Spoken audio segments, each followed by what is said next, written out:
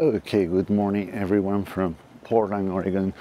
We only have a few days left here, so I'm trying to make the most of them. That's why today I have to go downtown to run some errands, but I'm bringing my camera bag. I'm just gonna try to make some images there.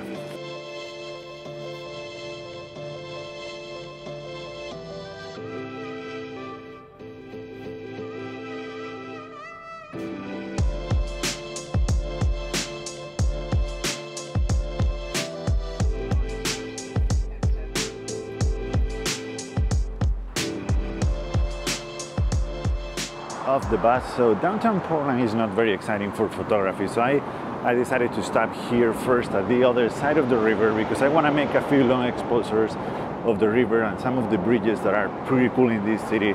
So that's the first thing that I'm going to be doing today. Of course, when I say not very exciting for photography, I mean for my kind of photography. I don't do any street photography or anything like that. I just don't feel comfortable. I feel very aware of myself.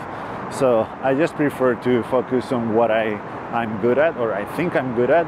And uh, photographing bridges and buildings and stuff like that for me is much more fun anyway to, than photographing people.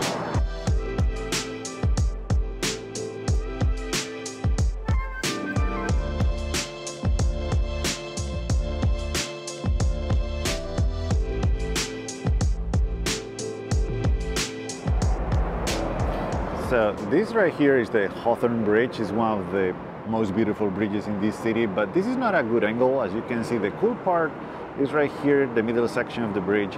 And from here it's overlapping. It has the background, the buildings from downtown in the background. So I'm gonna look for a different angle.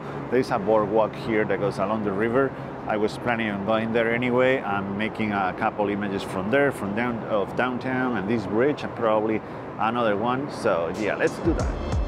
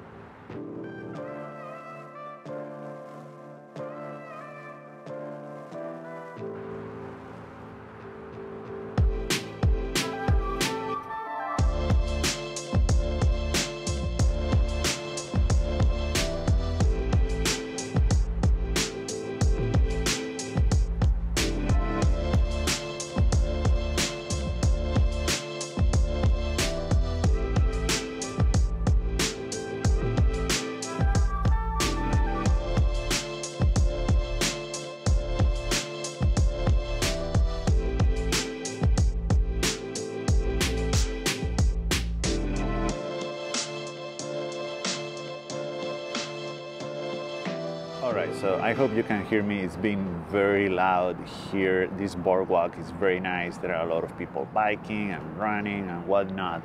But the problem with this boardwalk is that there is a highway next to it. It's I-5, it's a major highway, and it gets very, very loud. So loud that I tried to make a long exposure under a bridge, and I gave up because my ears started to hurt really bad. They still hurt, and that was like a half, a, half an hour ago.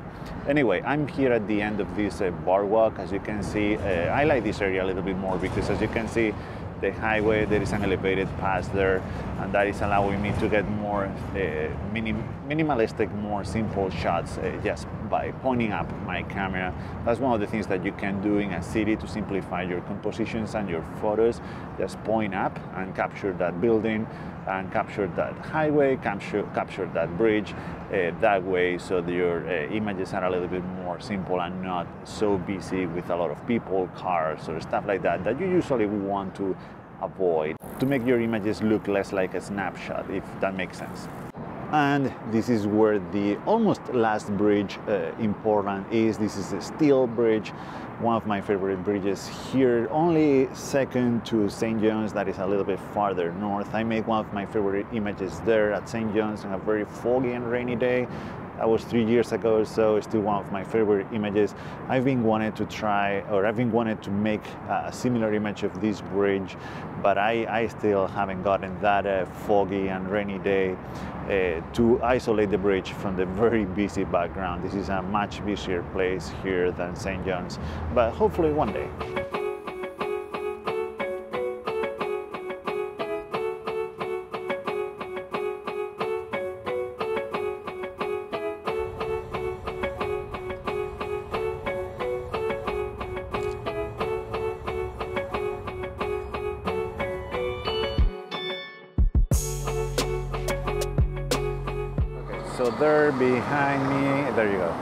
There behind me is the Portland, Oregon sign. That is the cliche photo. I'm not gonna take it because I've already taken it many times, but I'm gonna keep going. Also, this is not a good part of town. But anyway, uh, I'm gonna keep going because uh, at the other side of the, the that bridge, there is the festival going on these days. It's the Rose Festival, and there is a Ferris wheel. And I saw the other day a potential image. The Ferris wheel is white, and that contrasts very good or very well with the uh, dark trees around. That's uh, something that I've mentioned many times. Uh, look for contrast in your black and white images. I'm gonna try it and see if it uh, works out.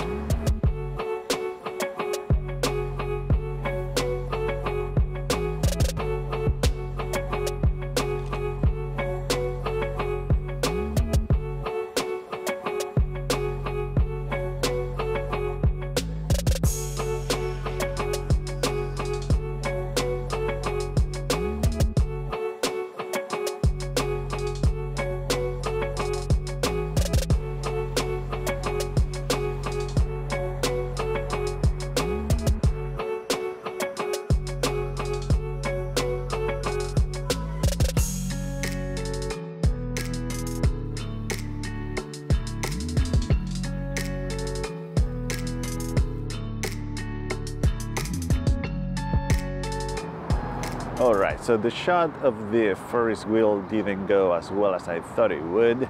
The best image uh, was uh, from uh, the bridge, but it's not as good as I thought it would be, so it's okay. Anyway, you might remember that at the beginning of the video I said that I had to come to downtown to run some errands, and that is still true, and all I've been doing so far is just uh, taking images, so I need to start doing those uh, few things that I have to do today. The first one is I have to pick up a print uh, that I have to send to ship to a customer today. It's a custom order, and I'm very excited to see that print. It's the first time that I print that image, and uh, it would be very interesting to see uh, what it looks like.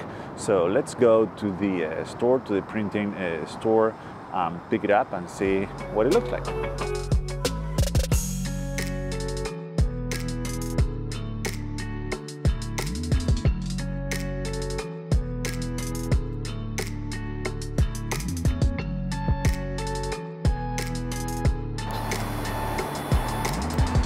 All right, here we are. I got the print, I already look at it, of course. I, I had used this place before, so I knew what to expect, but this is the first time I print this image, so I didn't know what to expect, but I think it looks great. There we go. I think it looks great. This time I used a, a paper with a little bit less of a texture. I don't know if you can notice. The paper that I usually use for my image of the month images uh, has a little bit more texture. I'm uh, experimenting with uh, different papers now. I like this one. I know. You guys let me know what you think. This is uh, an image that I made in California, in pretty much in the middle of nowhere. There were super cool clouds in the sky, as you can see, uh, forming that curve there. That was very cool, very cool evening in California. Of course, the, the light hitting just uh, behind that Joshua tree. Very, very cool. And I, I like the image a lot. I like the print and, uh, and the image too, of course. But yeah, nice. All right, so I met Rachel for coffee, then went out for lunch with some old friends and coworkers. I am very exhausted now. I'm back on the east side. It is much more peaceful here. I love this part of Portland. Yeah, I'm just heading back to the Airbnb. I'm gonna be stopping by one location really quick.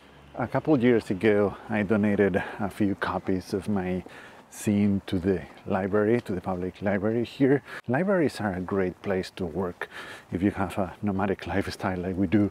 We've been going to uh, one location in Southeast, but they don't have any copies of my zine, so I'm gonna go to this other uh, location where they are supposed to have one. Many of you might not even know what this thing is about, but it was uh, basically my first and only publication so far, and uh, it's not my best work. I think my work has gotten better uh, over time, but uh, I'm still really proud of that uh, zine. And uh, yeah, I just wanted to show you a little bit, a few highlights.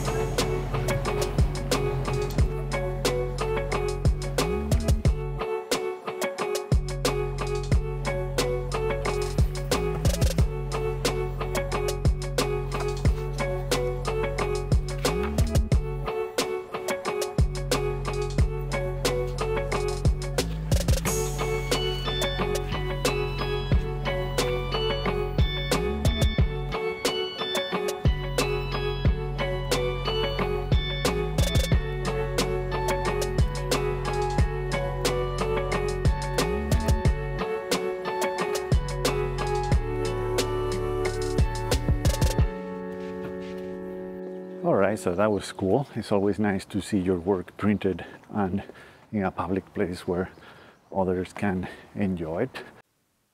All right, so I've been editing the video and you'll have to forgive me for the very shaky footage, lesson learned. Talk to the camera only when it's on a tripod or at least you are not walking. Sadly, I wasn't able to make as many images today as uh, I would have loved to. I was very tired. I had to take a nap. I walked more than 10 miles. It was a very long day. So what I'm gonna do instead, I'm gonna share some of my favorite images that I've made in Portland over the years that I haven't shared here on YouTube.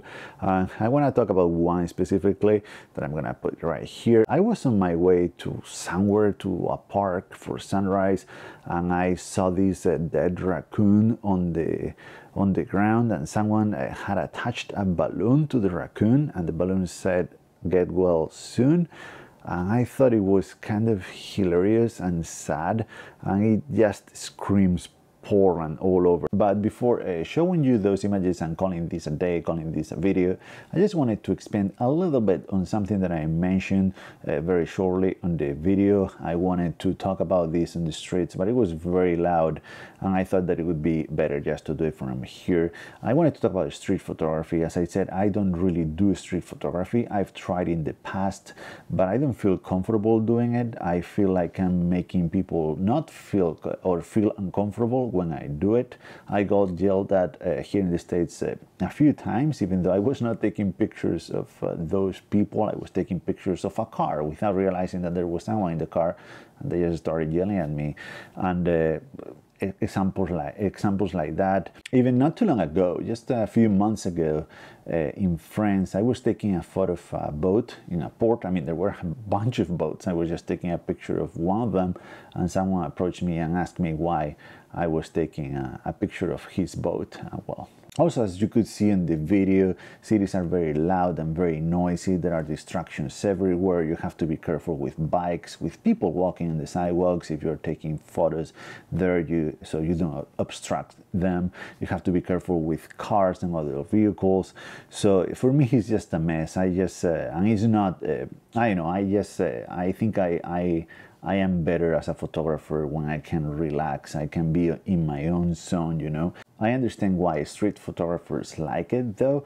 I enjoy looking at street photographs. I think they are they can be very powerful when you capture an emotion from someone in a in the, this is a decisive moment. I think they can be very, very powerful in a way that no tree, no mountain, and no uh, building uh, can give you or can give your image. I think you have to have uh, uh something special to be a street photographer, and all my respect to uh, the many uh, amazing street photographers out there because that's a that's a, a lot of work a very hard job i wish i had it but i i just don't Anyway, gonna uh, finish editing the video. I'm gonna leave you now with uh, some of uh, my favorite images that I made here in the city of Portland. I hope you enjoyed this video. It was a little bit different than what I usually do. Uh, but yeah, thank you so much for watching once again and see you in the next one.